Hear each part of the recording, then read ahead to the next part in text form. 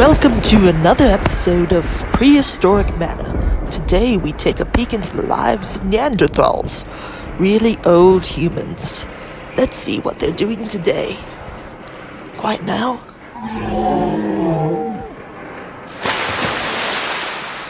Hello, what you doing there? Breaking a rock. Oh, that's nice. What are you doing? Looking out into the ocean, to the abyss. That is my life. Oh, come on now. You're fine. Some I birds guess I am. I really am. Water, No, so beautiful. no, I'm not.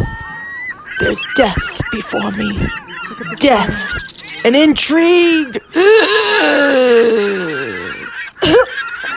I'm just, it's just a cough. I can make something for you. Maybe some rocks. I call them rock drops. Makes your throat better. You sure? No, no, no. That's just a big rock. That would hurt me. No, no. Yes, it will. It will not.